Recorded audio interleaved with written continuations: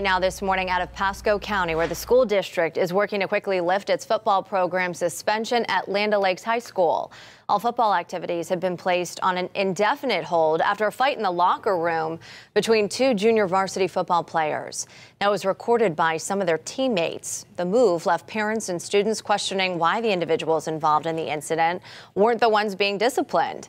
The move has affected not just players, but cheerleaders, students in the marching band, and other teams. I do like that they're being held accountable, so that's nice because that's what real life's all about.